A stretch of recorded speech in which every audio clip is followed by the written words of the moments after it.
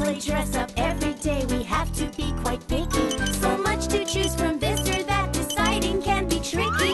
A fancy suit, a bathing suit, my rubber diving flippers, a dressing gown, a royal crown, my pretty ballet slippers. Jump in and take a guess. You may or may not know. So let's get dressed and look our best. Get ready, dress, go! Let's play a game of Ready, Dress, Go!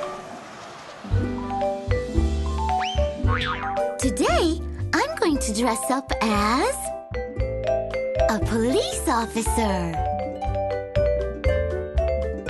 Police officers wear special outfits, so I'd better get ready. Do you know what I should wear to dress up as a police officer? Let's look. Ready? Dress, go!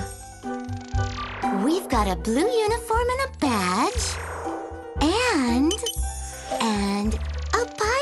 outfit. So which outfit should I wear to dress up as a police officer? This uniform and badge or the pirate outfit? How about I try the pirate outfit? Let's check it out. A police officer in a pirate outfit? That's not right. Police officers don't dress up like pirates. Then how about this blue uniform and badge? Let's see. Yes! A uniform and a badge! Of course!